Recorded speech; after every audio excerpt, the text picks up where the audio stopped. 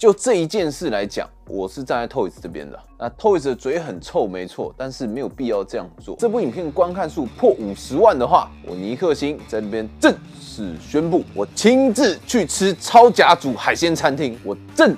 式约战超甲组，以我有话直说的个性，一定是有一说一，难吃我就说难吃，让我继承椅子的遗志。网红 Toys 与 YouTuber 超哥先前因超派鸡排倒废油事件，双方闹得相当不愉快。而 Toys 在一月二十日晚间前往超哥新开的海鲜餐厅用餐，批评对方醋饭不好吃，双方起了肢体冲突。Toys 被超哥痛殴到流血，到医院缝了十几针，扬言提告对方。事发后，许多人对此发表看法，当中拳击网红尼克星就对双方打斗过程做分析。尼克星也强调，超哥动手打人就是不对，这次会站在 Toys 这边，即使他批评的很过分，认为店家要有气度去接受，不能动手动脚。不要这样子啦！我叫警察啦，讲个话而已，我没有拍了，我没有拍。有违禁，你有没有考虑过我的立场？放慢动作来带大家看一下，我们可以看到，首先超哥第一拳出的是左勾拳，敲在了椅子的脖子上面。接着呢，超哥不把拳收回来，顺势的影响椅子的重心，把他带到右边，想趁势给他一个右勾拳。但这时候椅子指出了他师傅教他的鬼之闪躲，往下一闪。虽然不确定是不是重心不稳才不小心闪掉的，但总之超哥这个右勾拳是挥空了。接着椅子马上稳住重心，要摆出一点拳击架势。超哥这时候整个人跳进去，打出了一个右手的勾拳。那我们这时候看到，其实椅子是有一点动作是往右边做闪躲的，但是超哥一样用他惯用的招数，出完拳以后不把手收回来，一样顺势的影响椅子的重心，把他整个头箍住，往后带，左手去扯他的。帽梯衣服的尾段，把他衣服整个拉上来，影响住他的重心。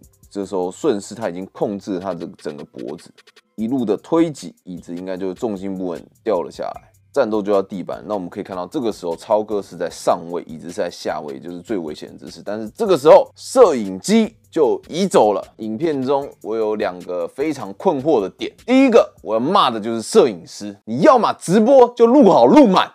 要么你就去帮忙，两个都做不好，到底在干嘛？你录也不录，然后帮忙的时候说：“哎，不要这样了，拜托不要这样了，我要叫警察喽。”不是，你第一时间应该过去，直接把超哥拉开。你到底在干嘛？但也不怪他了，可能是缺乏这方面经验，所以看到其实是愣住了，你知道吗？那影片第二个点就是我很好奇啊，那打架而已嘛，那这女生尖叫的也太夸张了吧？啊 啊！不要！拜托你，求求你不要！没看到画面，我以为 Toys S 啦。那我们这回到正题，以我看超哥这样子的动作，还有他的一些策略，也肯定的是超哥他是有一定的接斗经验的。虽然超哥不会正确的出拳，但他做的很不错的一点就是他很会去控制 Toys 的重心。所以大家其实有观察到他们在接斗的画面，超哥出拳的时候出完拳。打中，他都是全部收回来了，顺势影响他的重心，控制他的方位。让他站不稳，不管是左勾拳或是右勾拳都一样，这样子他会让 Toys 没有好的重心去做反击或是出拳。再来就是他会去抓他的衣服，去遮挡掉 Toys 的视线。其实这个脱衣服的动作不止遮挡掉 Toys 的视线，也顺势的影响他的行动。因为衣服这个虽然是有弹性，但是还是会限制你的活动弧度的。所以在 Toys 衣服半脱的状况下，他其实这个方式他也没有办法去做攻击。但是超哥呢，也有他可以吐槽的点。那吐槽的点就是已经站那么近了，你的勾。拳近了还打不中他，这么近了还打不准啊！这点是让我很疑惑的一点啊，因为其实只要正确的出拳，一拳。就可以让椅子失去战斗能力倒下来了，也不用做后面那么多动作了。为什么超哥站那么近，拳还打不准呢？不是因为他眼睛有问题，是因为他挥出来的拳是很倒地的王八拳，让他拉开的动作弧度很大，相对来说也会让你的准度更偏移。再来打击到的位置是掌心这块的位置，所以大家可以看影片，他其实接触到 Toys 的部位是这块。攻击面不够集中，你只要改变一点点小的细节，你就可以解决这个问题。就是在你挥出这种拳的过程中，把你的手肘抬起来。刚刚是这一块接触，现在接触面是这块，食指和中指的指节作为你的攻击面，这样子就是一个成功的出拳。只要超哥能够改变这一点点小的细节，手都抬起来，一拳。椅子就会马上的失去战斗能力，甚至失去意识。Toys 可以做的更好的地方，就是它的警觉性太差了，站姿很明显是没有预备好会被打的站姿。你可以看到他影片中是这样子站，脚站平行，然后整个人站得非常的直，这样子也是最容易被影响重心的姿势。是我真的和一个和我有敌意的人在吵架或是沟通的时候。我的脚一定是一前一后的站好，随时准备好让我去做出拳的动作。超哥其实在要出拳的时候，他已经有个这个动作了，应该就要察觉到了，你知道吗？那椅子还不知道，还在那边继续讲。有那个动作的时候，其实你马上就要距离取开了，那手可能就要拿起来了，准备好做攻击，准备好要出拳了。那我在这边顺便教大家怎么样判断一个人要攻击。通常要攻击前，你那个脸是会变，哪里可以透露出这个讯息，就是你的眼睛。眼睛如果突然从正常的这样变成这样。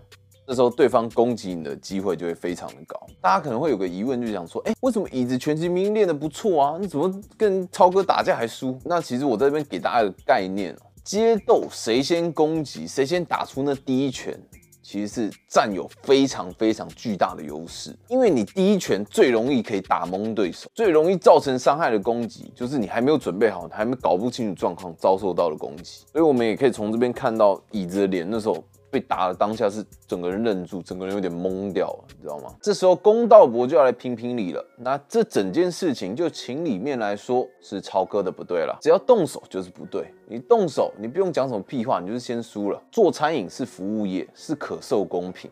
在餐厅以外，你们是仇人，但他今天上来你们餐厅吃饭，他就是顾客。本来每个人的口味都不同嘛，那我们退到一万步来说，就算他今天是带有恶意的批评，但因为批评就接受不了而愤而动手，那确实情商很不到位，也过于冲动。这边呢，我也要站在超哥的角度说句话，超哥这个人啊，看起来就很爱面子，再加上积怨已久，之前就被你搞了一次，那现在新开的餐厅。你又在我面前批评我的菜，那新仇加上旧恨。但是超哥有小孩子在场啊，你身为大人，在小孩面前做了一个最不好的示范。就算在你面前这个人他很讨厌，他人品很差，他没有道德底线，但也不代表你有伤害他人的权利。就这一件事来讲，我是站在 Toys 这边的。那 Toys 的嘴很臭，没错，但是没有必要这样做。其实有个很大的疑问，就是 Toys 为什么不还手？这边我分析了几个可能，第一个就是他愣住了。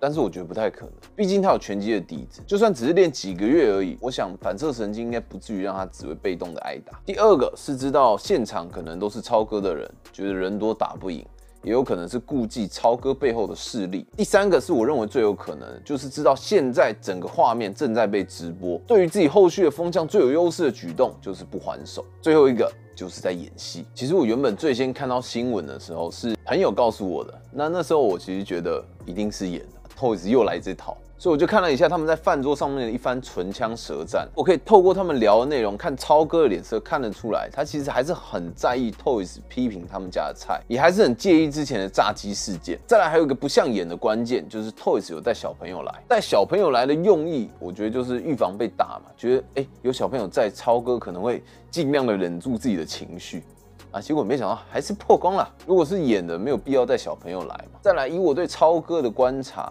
他应该也是那种比较真性情的人。来，最后一点，超哥动手也代表风向一定会一面倒，将会面临排山倒海般的批评而来。这些就是阿星认为不是演人的看法，真假目前还是不清楚的。但是真假呢，我们可以透过后续的行为来判断。那怎么判断？阿星来教大家。通常会这样炒流量，大部分的原因都是因为后续有活动。假如后续他们真的对簿公堂，互相提告，那这件事情是真的的几率高一点。那假如他们双方互不提告，后续又有其他的活动同台，那这样是假的几率高一点。最后这部影片观看数破五十万的话，我尼克星在那边正式宣布，我亲自去吃超甲组海鲜餐厅，我正。誓约战超甲组，因为你餐厅那么好，顾客吃饱，你还送他一顿粗饱，那我真的也看不下去了。以我有话直说的个性，一定是有一说一，难吃我就说难吃，让我继承椅子的遗志，让新时代的公道伯阿兄